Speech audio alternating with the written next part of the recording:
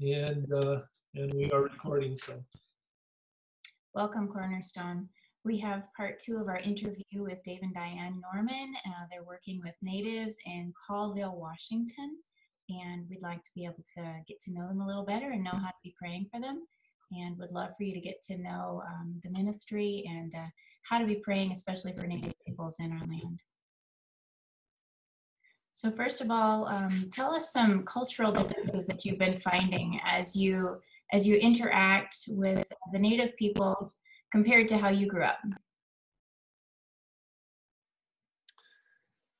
Well, there's there's a lot of them, and one of the important things in cross-cultural ministry and missions is um, you have to um, you you have to force yourself to not say why did they do that? That is really weird. That's the normal reaction whether it's from kids or adults to something that's different than we're used to. So there's a whole process that you get training in and you have to get used to of uh, of saying instead of that's weird uh, that's that's really interesting. Why why do you do that? And I, I, I remember the first time I was taken out when I was working in the schools, and um, a native uh, guy wanted to help me go get some teepee poles, and he we went out we went out to the place where he knew we could we could cut some poles legally, and he he stopped. He said, "Well, we have to." Um, we have to uh, pray and thank the the trees for giving themselves to us, uh, giving their lives to us, so that we can use these things. So we have to pray, and so uh, he led in prayer, and then I, as we were just talking and working, I said, Ken. Um, I'm just curious, you know, I know you believe in creator and you know obviously creator made these trees. Why why do you think I mean why do you think the trees rather than creator? And I didn't I just did it like a real open question like that, not trying to and he had some kind of an answer for it. But I mean there's those kind of things that when you they're just different from what you do. So um, one of the ones we we notice is is the way they dress. Um, if any of you have ever been to a powwow, probably most of you haven't, although they have them all around the country in different native cultures.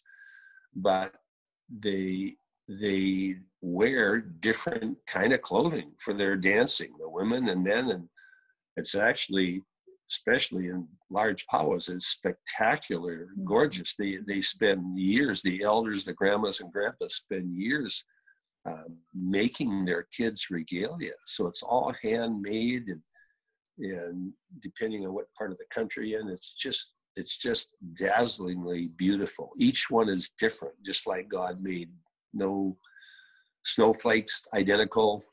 It's that's what you feel like. You'll never see anybody alike dressed alike at a powwow. I think one of the key things when you talk about or with Native people, you don't talk about um, costumes. Costumes are something for Native people, costumes are something that you wear when you're trying to be something that you're not really, like at Halloween.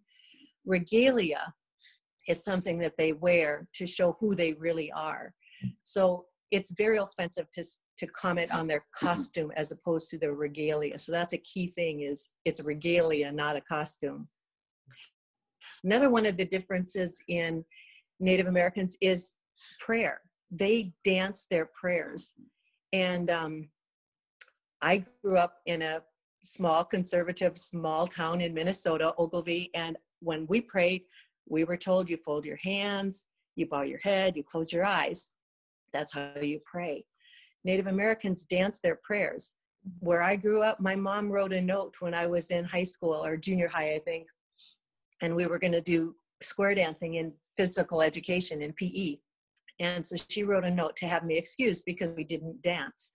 So for me to go from that kind of a, a culture to a culture where they dance their prayers was a big jump for me.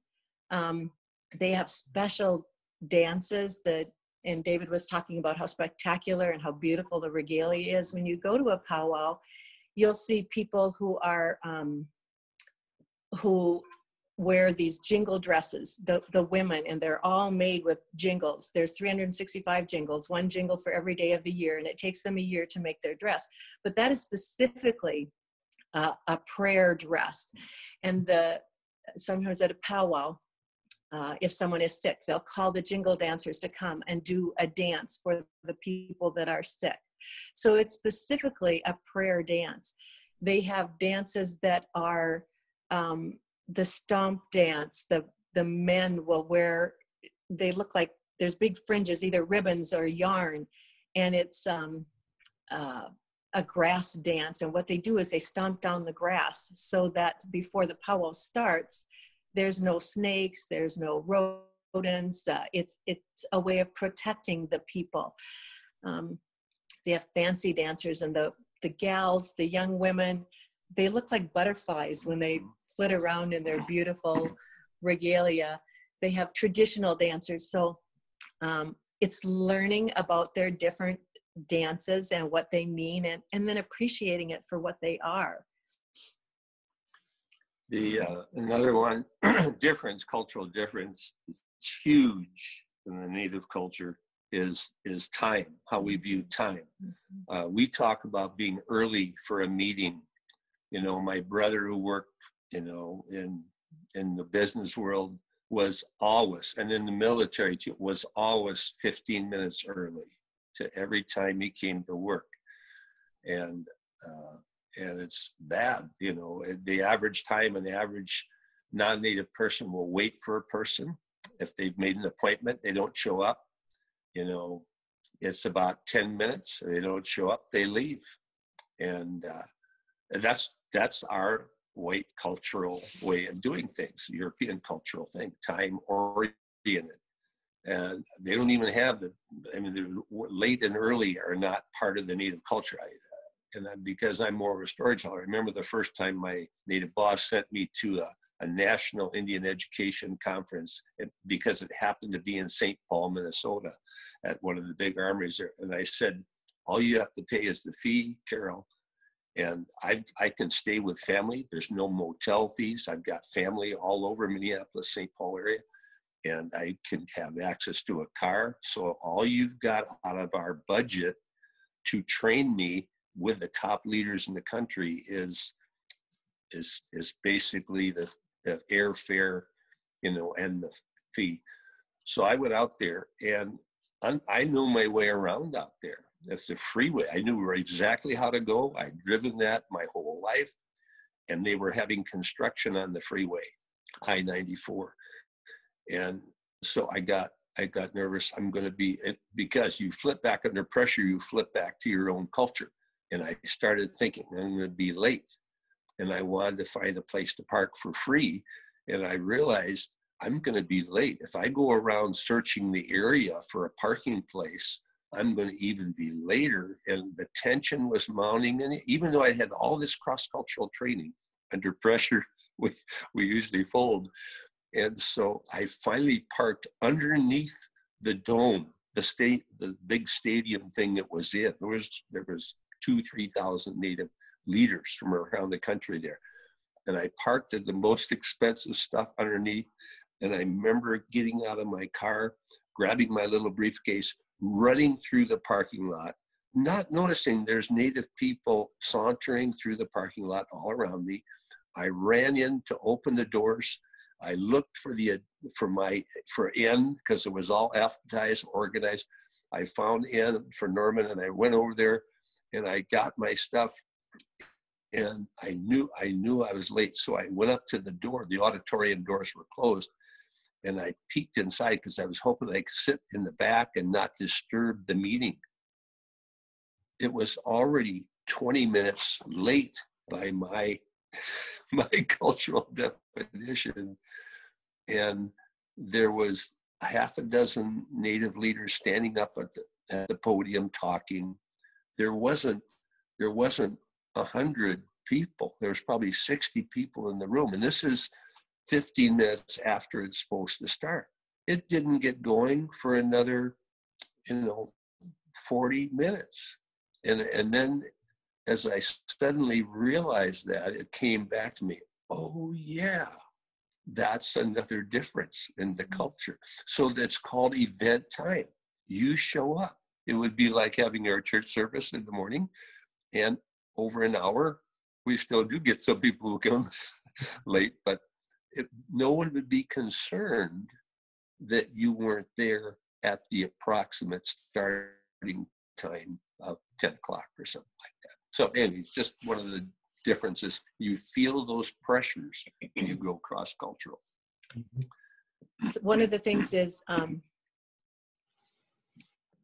because they're relationship oriented people um, and everyone's related, everyone's your cousin. When you get together, we we're we're um, productive oriented, and so we will ask, uh, "Where do you work?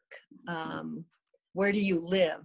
But they are relationship oriented. So the kinds of questions you would ask Native people when you're first meeting them are something like, uh, "So who are your parents? Uh, what tribe are you from?" those are the kinds of things that you want to ask to build a relationship. They could care less where you work. They want to know who you're related to. Um, Yeah, the first the first question I ask uh, um, if I'm at a restaurant and I'm a native person is waiting on it, I won't tell because they're not at a powwow or anything, so they I can't tell the difference usually. But they will notice what I'm.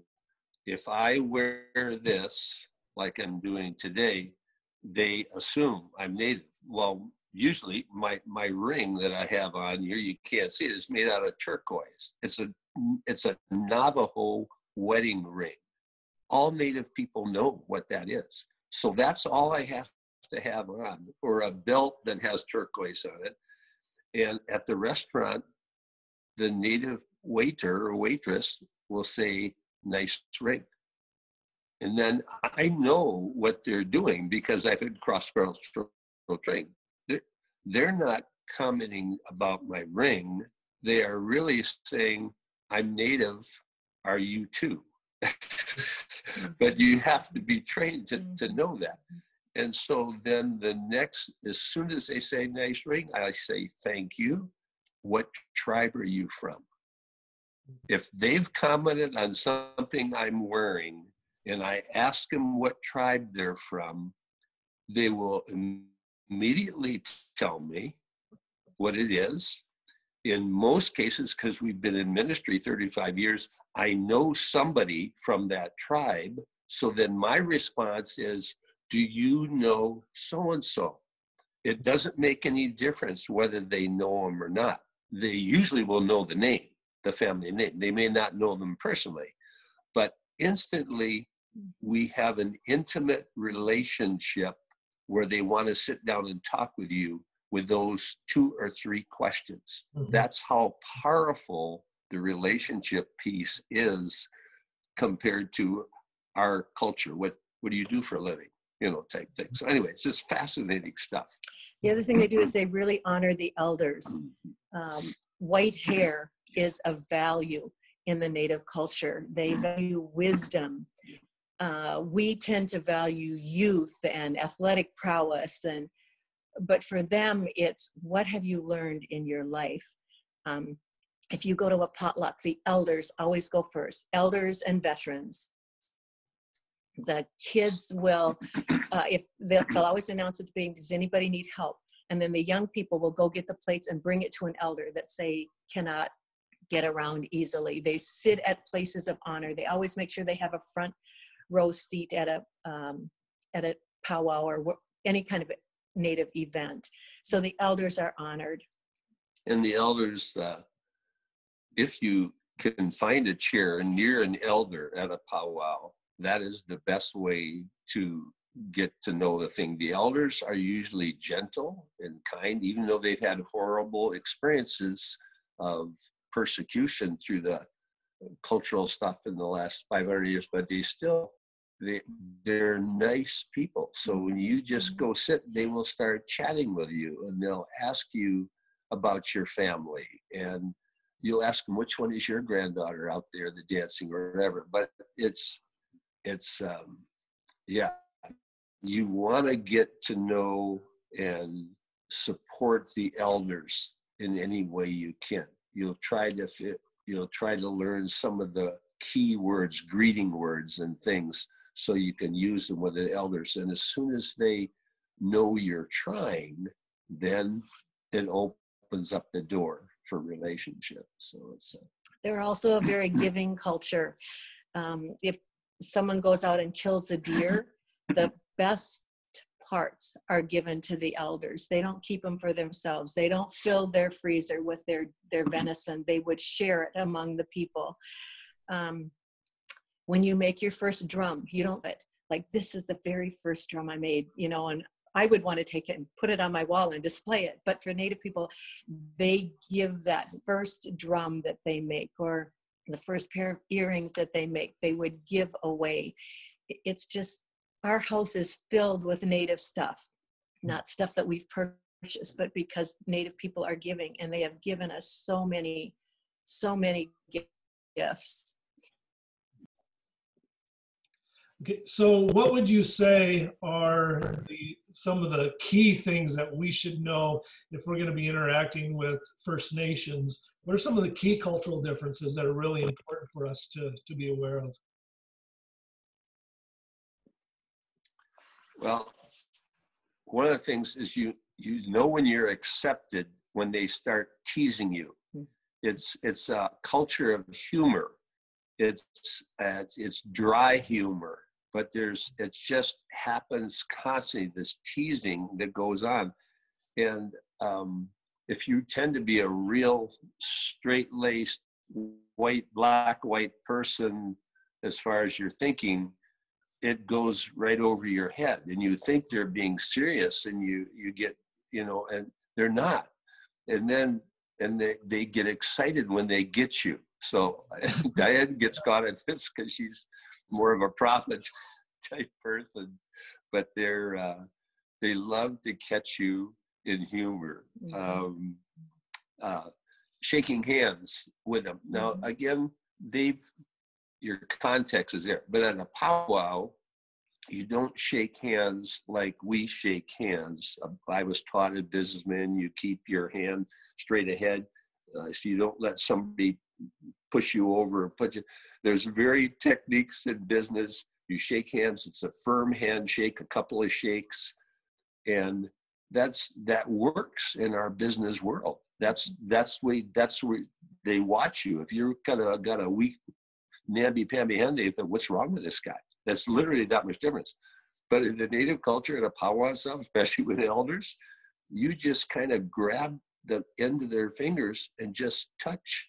Mm. There's no grabbing at all because from their perspective, that's being pushy and mm. controlling, and they've got 500 years of negative stuff of us Mm. breaking trees and and being pushy, pushing them off their land, all those kind of things. That's Mm. so even the handshake is is Gentle. is gentle and kind and respectful. So there's little things that that can make a huge difference if you know them when you run into a native person. They will. Uh,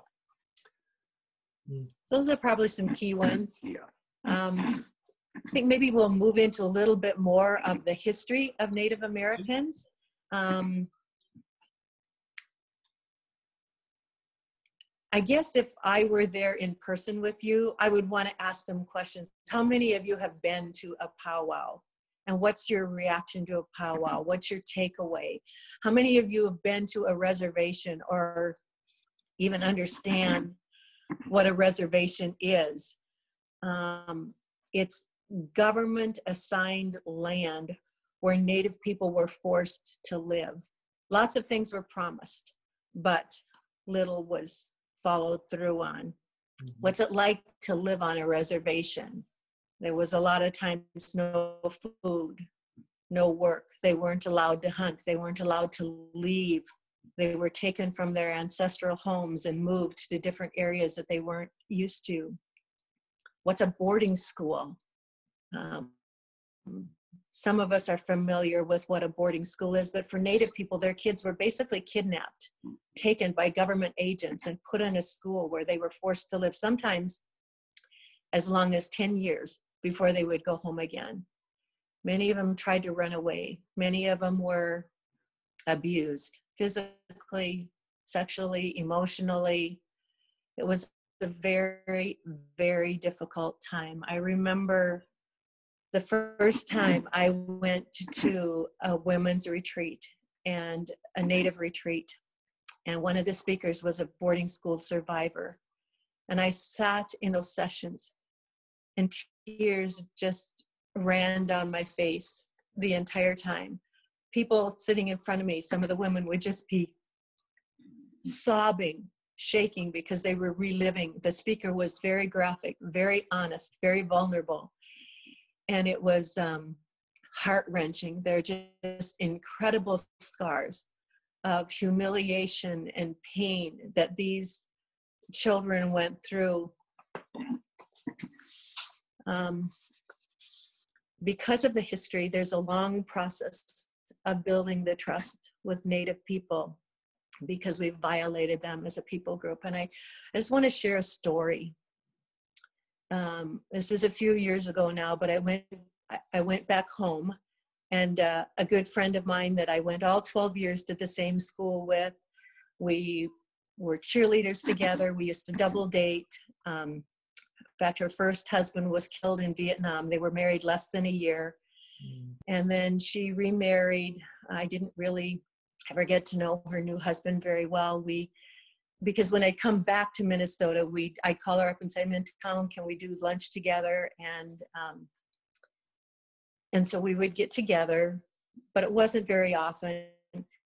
And so this is a couple of years ago. I went back home, and um, so I called my friend Donna. I said, "Donna, can we get together? I'm in town just for, you know, a short time." So we got together, and she was really subdued. And um, finally, over the course of our meal, she shared with me that she had recently found out that her husband they had not been able to have children and so they had adopted a, a little girl. And she was uh, in her teen years now but um, she donna had just recently found out that her daughter had been abused by her husband and had been an ongoing she didn't know it until her daughter tried to commit suicide. And of course she was devastated she was um, embarrassed that this could have even happened behind her back in her own home. And um, her husband's reaction was, okay, it's done. It's not going to happen again. It's over. Let's forget it. Let's move on. And he just wanted to push it away and like pretend it never existed. And I think that's, I share it because that's so similar to what's happened in the Native culture. Um, we have violated Native people, and it was done these were government run schools, but they were operated by the church, um, mostly Catholic, some Presbyterian, but um, Anglican in Canada. But what Native people saw was church people, supposedly God fearing people, inflicted this kind of pain upon them. And so many of the children were abused. And we look at it and we say, that's in the past. It's done.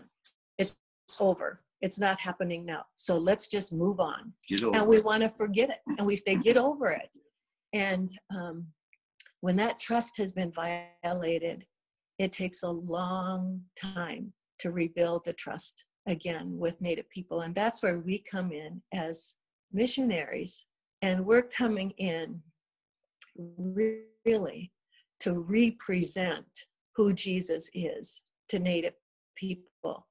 We want to love them, value them, honor them, respect their culture. Uh, obviously, scripture is always the plumb line, um, and everything has to be uh, based on does this in any way compromise scripture? At that point, you draw a line.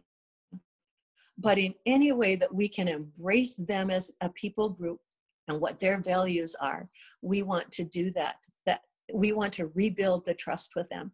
And that's why it takes so long with Native people to get to the point where they, I look at it and I think, really, I am humbled anytime a Native person will come to me and share their heart and be open and accept me and love me because their history has it's so filled with pain Mm. that for them to be able to see beyond my white skin is really important to me.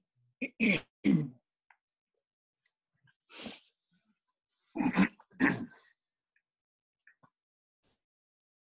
you want to share a little bit here?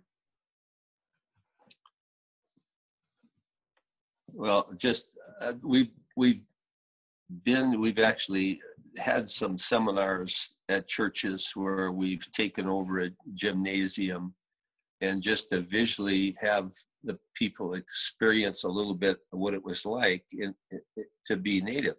Uh, and so we would uh, go back and and read different declarations through the through the actually through the centuries that have been made, uh, starting with Columbus and some of these other things. And and each time we would take land away from. We'd start out with blankets all over the entire gym floor and the people of the church standing on those blankets. And then we would say, um, okay, this declaration came and then we took this amount of land. So we'd have them removed. So, so you went in the period of an hour or so presentation, you went from a gym floor covered with, um, with blankets to one blanket left somewhere in the in the gym with um, and then we would also have the people leave. If they were died because of some disease or because of some massacre or whatever we would so you ended up with a small at the end of the hour you ended up with a small number of people on one blanket just to have them experience. And as you're standing around the outside, when you're participating as a church and you're standing around the outside and looking at this, finally, just because of the activity, you start to realize what has happened in this country. And nobody talks about it. I didn't learn it in school, and we still hide it. Canada has finally admitted that they have done the horrible atrocities that have been done. They have finally had the Reconciliation Commission. They've spent years on this. We've been up to some of these sessions, and they have tr- truly owned up to it and are trying to bring reconciliation uh, and equality back into the people. But it's uh, it's a long our, our, our country hasn't done that yet. We've paid lip service to it but there's been nothing nothing done. I i think maybe the things you guys do down there when they have that ride to where the mankato you know where they had the hangings of the native people uh, in mankato there uh, that was one of the you don't call it a massacre i guess but that's really what it was from the native perspective. And the fact that the churches along there open up their doors and their barns and stuff to the horses. That really touched my heart. First time we came and I heard from you guys um, that you're doing something that's real, that's tangible, that's giving, that's serving, all the stuff God tells us to do. And you're doing that for these people because of the history. You're showing Christian love to them, providing food, whatever they want, place for their horses, because it's bitter cold. They do this walk in the middle of December, and you know what it's like there. Every year, after some of them do it, there's suicides. I've seen the videos on this. There, there, there's young teenagers who just can't take it, so the suicide rate is the highest, you know, and in in any culture you know because of this horrible stuff that's done so that's the kind of history that we don't want we don't like talking about that that we that we are part of that our ancestors are part of that. The reason we have land in montana is because we we took it. The government said okay it's free land. You, can have it. But what happened to the native people at that time?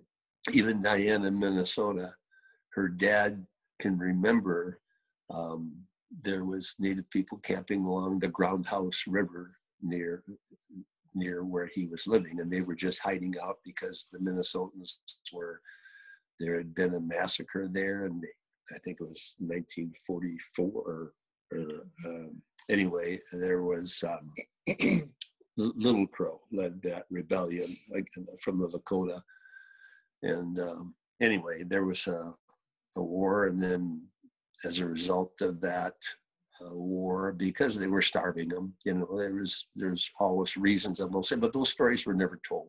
Kids weren't told in school, so those who wanted to pursue some kind of reconciliation could do it. They weren't even told the stories. I wasn't told the stories. I I've heard more from elders than I have from books. So, but it's changing. the the good news is they're forgiving people, and so uh, they've they've are gradually allowing us to come in to like growing number of native leaders have become believers. Navajo, the chair and the vice chair of the tribe are believers. The Muckleshoot tribe, right out where we used to live, um, in uh, in Tacoma area, there, a suburb Auburn. Uh, the Christian natives there, the chair of that tribe is a Christian, also a number of the tribal ch- uh, council is Christian so they're raising because of the coronavirus and so many people are dying. I well, the last I heard was 48 on the res down there in, in Navajo land, but uh, they they've raised six thousand dollars to send down to them to help. But it's the Christians, and so what's happening is as we as Christians walk our talk, um, including the Native Christians, they end up in leadership. Mm because it's the principles we've learned from scripture. And so there's a growing number at, at top national levels in different Christian Native organizations. I mean, not Christian, or, but just organizations that are Christian leadership now. So some neat things are happening um, as as that our our organization or our group that we're part of in Tacoma now is planning a, a conference, a, a prayer conference um, this fall. It was supposed to be this spring. This it was supposed to be uh, the the end of um, this month. This month it was supposed to be, and they had to cancel it because of the virus. So they've reset it. The native speaker, who's a PhD and professor up in Canada, uh, his only day available is September 12th. So we're trying to work towards that. We don't know what's going to happen with this coronavirus, but uh, but there's there's neat things happening, uh, and it's Native leadership. It, it's so exciting to see that. Yeah. Since I moved out here, I, I, met Native friends. We've tried to start a Wisdom Circle, but I am not going to start it without two other Native Christian leaders. So mm-hmm. there's a majority making decisions. Yeah. We have to turn over their responsibility to them because they know their people better than I do, even though I've lived in it, studied it for 35 years. So I'm, I'm actively letting them, wanting them to take the leadership so I can just be part of it, support, because that's that's where I think it has to go. So, Thanks for sharing stuff. that with us. Uh, yeah, just to hear some of the the really beautiful things that have taken place. It's just it's good to hear that and to, to know that there's there's a lot of hope there too. And, and so there's a lot of hope. Yeah. Thanks for thank sharing. you. Yeah, thanks for sharing that with us, and uh, we look forward to hearing more about your your ministry with with the First Nations, and uh, look forward to having you on again in the future.